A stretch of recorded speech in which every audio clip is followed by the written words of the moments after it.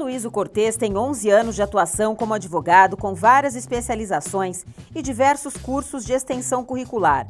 Em 2018, recebeu o convite de um amigo para fundarem um escritório juntos. Aloysio almejava a carreira pública, prestava concursos quase todos os finais de semana, mas notou que o escritório foi obtendo resultados, expandiu muito rápido a carteira de clientes e logo passou a ser a sua prioridade. Hoje, o AC Advocacia atua com profissionais especializados nas áreas civil, direito e processo do trabalho, direito do consumidor, direito bancário, tributário e a grande demanda atual, a recuperação judicial de empresas, além do direito digital em geral, com um trabalho completo para a implementação em Lei Geral de Proteção de Dados e Informações. Afinal, a era digital já é uma realidade. Portanto, a mídia e o direito digital informatizado são as tendências do judiciário. E o escritório se moderniza e acompanha cada vez mais o crescimento desse setor. Olá, seja muito bem-vindo a mais uma edição do Empresários de Sucesso TV.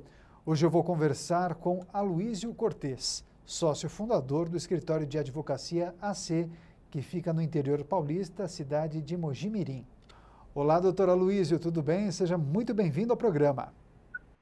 Olá, tudo bem? Obrigado. Eu que agradeço o convite. É uma satisfação estar, estar participando do programa. Certamente, muitos assuntos para tratarmos, mas para começar, doutor, eu gostaria que o senhor explicasse para o nosso público como foi. O senhor decidiu escolher a carreira do direito, a advocacia, como foram os primeiros passos como estudante, depois uh, o início na profissão, depois a obtenção da carteira junto ao exame da ordem e, por fim, a fundação do seu próprio escritório. Conta para gente, por favor. É, foi uma história, é, um, uma história bem, bem inusitada. Era um, algo que eu, é, o direito sempre me acompanhou nos primeiros desde de infância. Eu sempre gostei de ler, é, gostava de, de, assistir programas relacionados à área jurídica, sempre gostei muito de, de entender né, como funcionar, é, como funcionava na época o, o, sistema judiciário, sabia da importância do advogado, então tudo isso me despertou uma, é, uma curiosidade, é, uma curiosidade que é, hoje é algo prazeroso, né? Eu é, mesmo depois de é, ter escolhido a, o direito, ter é, concluído o exame da ordem, é, por satisfação, continuei é, estudando com cursos de, de, de extracurriculares, curso de, de especialização. É, gostava muito da, é, do concurso público, da carreira pública, que até então era, era até minha primeira opção, é, porque eu gostava muito de estar atualizado, gostava de me, me testar né, na, nos, nos, concursos públicos, é, mas aí fazia isso concomitantemente ali com, com o escritório, e chegou um momento que é, o escritório começou a exigir mais, é, mais atenção e aí comecei a, a priorizar o, o, escritório. As demandas começaram a surgir, é, os resultados começaram a, a, aparecer e aí eu é, não parei de estudar, é algo prazeroso, eu gosto. Ah, às vezes eu até substituo uma programação de, de, de TV para é, para ler, para assistir algumas videoaulas, é algo assim que é, eu, eu até brinco né, com, com algumas pessoas, ah, mas, poxa, se, eu não quero te incomodar de final de semana. Falo, não, não, não incomode nada, para mim é, é, é, muito gostoso, é prazeroso. Então foi assim que, que começou, né? Começou com. É, é algo que. É, é, um, é um amor que, que, que veio, né, veio crescendo e, e aumentando aí com, com o passar do tempo. Perfeito. E o senhor e os colaboradores do escritório, eh, vocês possuem experiência em várias áreas, mas eu gostaria que o senhor explicasse qual é aquela em que o escritório é mais eh, demandado aí na região de Mojimirim, interior paulista. Qual a expertise do escritório? O, eu sou muito familiarizado com a, com a, com a carreira trabalhista, né? Foi é, algo que, que impulsionou a, a minha profissão. É, os concursos, os, os, as especializações, na, na, no primeiro momento, foi voltado à área trabalhista. Mas né, a gente tem que acompanhar o, o, o mercado de trabalho. É, então, hoje nós temos profissionais diferenciados para é, especializados para cada área de, de, de atuação. É uma demanda que, que mais cresceu e vem crescendo é a, nós tivemos agora um, um consultivo trabalhista, né? Eu acho que a, é, a, a, principalmente as empresas, as próprias pessoas hoje, ela vem buscando algo de, de reestruturação econômico-financeira. É, acho que o, é, até o nosso cenário atual hoje, né, a, a questão da pandemia que, que refletiu é, muito forte em algumas áreas do direito, ela, ela caminhou uma, uma, uma busca para áreas de, de, sustentação jurídica. A sustentação jurídica, como que eu posso classificar isso? É, vai desde um consultivo trabalhista, né, um consultivo preventivo trabalhista para você né, é, evitar impactos né, é, é, é que, que tornem ali um, que você tem um desequilíbrio né, no, no, no futuro e, e, traba, e, trabalhos emergentes, né? A gente teve muita procura também na revisões de contratos, tá? Isso desde contratos é, particulares, como também com, com, bancos, com instituições e principalmente a, a, a recuperação judicial é, é, é, algo que o, que o, que o, que o escritório hoje ele, ele tem uma demanda e e, e tem, um, é, tem um resultado muito, é, muito significativo para o empresário. E, o empresário, às vezes, ele, é, ele vem procurar o advogado, mas o, o empresário hoje ele é algo muito importante para a sociedade. Né? A, é, a continuidade da, das atividades da, da, empresa, isso é, é, é bom para o mercado, é, isso é, é, subsídio de mão de obra, direta, indireta e às vezes o, o empresário ele sofre um impacto ali, principalmente, então é que, que né, ele não está esperando. Então é, é, hoje o que a gente mais é, vem presenciando hoje são pessoas num, numa situação de, de, de, desequilíbrio tá? é financeiro. E a gente sabe que, que isso realmente é, não é algo que, que vem de, de, um, de uma má administração, é algo que vem do mercado. Então, é, você hoje, a, a, gente hoje tem uma demanda que cresceu é, 70% aqui no, no, nosso escritório, que é a, é a reestruturação é, de empresas, pessoas ali que estão naquele momento de, de desequilíbrio financeiro. É, e tem os trabalhos emergentes, algo ali a curto prazo, e tem algo mais a longo prazo, como, por exemplo, a recuperação judicial. Doutora Luiz, um outro assunto muito importante diz respeito à proteção de dados, tanto que uma lei inclusive entrará em vigor neste ano. Eu gostaria que o senhor analisasse eh, esta situação e também falasse da importância das pessoas se protegerem. Por favor.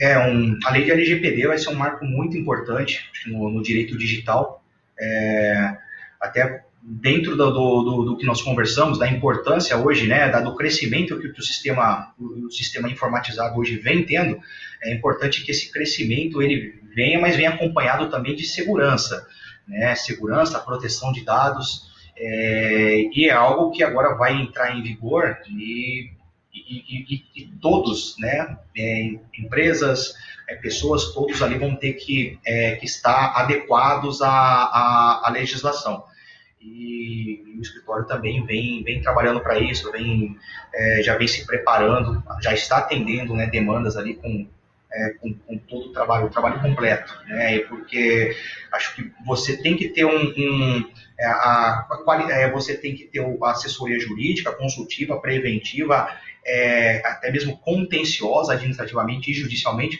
mas isso é, é alinhado a todo um trabalho de proteção de, de, de dados que é, algo que o direito digital ele vem crescendo, mas tem que crescer com segurança e com qualidade. Né? Isso mostra a importância hoje do, do sistema informatizado, que né, eu acho, ratificando aqui, acho que vai ser a, a tendência.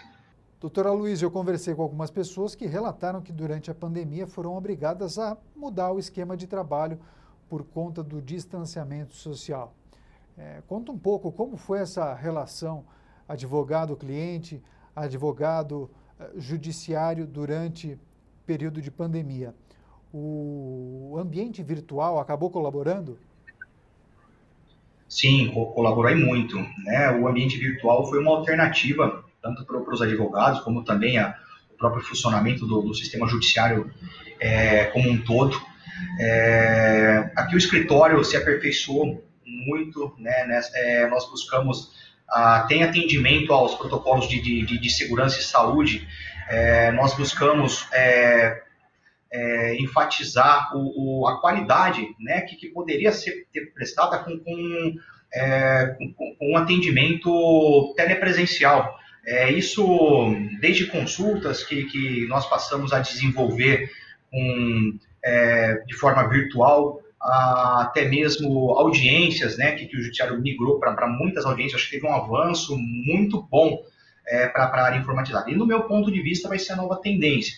É, tendência porque é, eu acredito que é algo que já, já, já, estaria, já estava previsto, mas é, a, a, acelerou muito, né? até por conta aqui da, da, da pandemia, todas essa, essas alternativas que, que nós tivemos que, é, que seguir e buscar. E é, é algo que está melhorando. Eu já, já tenho comigo que é possível você é, concluir todo um atendimento, começar um atendimento virtual e terminar esse atendimento de forma virtual também, sem trazer qualquer prejuízo para o trabalho ou para o cliente. E, e, eu acho que é, vai, vai ser a nova, eu acho que vai ser a nova tendência. Perfeito. E seguindo essa linha de tendência, inovação, tecnologia, você tem se utilizado das redes sociais, das ferramentas digitais para compartilhar conhecimento, dar dicas para clientes ou também para prospectar eventualmente é, novos clientes? Conta um pouco dessa sua relação com as ferramentas digitais. Sim, as ferramentas digitais se tornou algo é, essencial aqui para o escritório, até como uma, uma alternativa para que a gente conseguisse manter é, a proximidade, entre aspas, com, com, com o cliente é, e continuando, porque o, o, trabalho não parou, né? É, nós, assim, adaptamos a, a, o, o, atendimento. É, trabalho telepresencial, um, um, trabalho sem atendimento ao público, mas é, foi algo que deu para enxergar que é perfeitamente possível, menos no meu ponto de vista, a ser trabalhado, a ser implantado. É, no início, é, cria-se aquela relutância, né? Eu estou dando até uma opinião aqui pessoal minha. É, acho que você tem até aquela relutância, ah, será que vai funcionar? Mas a impressão que eu tive é que quando foi colocado em prática, é, funcionou, funcionou bem. É, nós nos adaptamos a isso. Então, o escritório é, hoje ele tem todos os canais de informatizações disponíveis ali para atender todo e qualquer perfil de, com qualidade. É, lógico, a, é, o, a, a, a, publicidade, né, a divulgação do trabalho, né, é, a gente utiliza como né, um, um site, né, como um, uma ferramenta muito, é, é muito importante para que aquele público, aquele nosso cliente, é, ele acesse lá e se atualize juntamente. É, ele é uma forma da gente ver qual que é a demanda que, que, que nós estamos tendo aqui no dia a dia e colocar essa opção de acesso do, do, site. E a pessoa pode fazer todo o trabalho sem sair de casa se ela, é, se ela quiser. Excelente. Boas informações trazidas pelo advogado Aloísio Cortes, a quem eu agradeço demais pela participação e pela entrevista e bate-papo. Doutor, até a próxima e muito obrigado. Eu conversei com o advogado Aloísio Cortes, sócio fundador da advocacia AC, Empresários de Sucesso TV, o canal do empreendedorismo.